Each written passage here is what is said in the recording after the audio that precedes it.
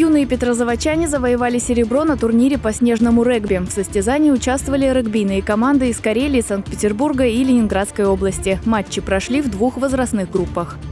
Петрозаводчанин год ездил на машине с поддельными правами. Водительское удостоверение он заказал в интернете, так как не мог сдать экзамен в автошколе. Мужчина признал свою вину, уголовное дело направили в Прионежский суд. Обвиняемому грозит лишение свободы до одного года.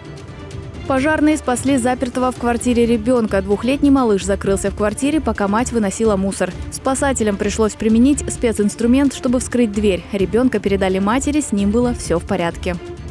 За сутки врачи выявили коронавирус у 221 человека, из которых 210 не были привиты. 42 случая зарегистрировали у детей. В отделениях интенсивной терапии врачи борются за жизнь трех человек. 207 граждан Карелии выздоровели от ковида. Медики подтвердили смерть от коронавируса у пяти человек. После продолжительной болезни на 88-м году жизни в Финляндии скончался видный деятель культуры Карелии, актер и режиссер Паули Ринне. Он был одним из ведущих актеров театра Йоэнсу, занимался режиссурой, руководил самодеятельной русскоязычной театральной группой «Коувалы». Паули Ринне ушел из жизни, окруженный заботой семьи, детей, внуков и правнуков.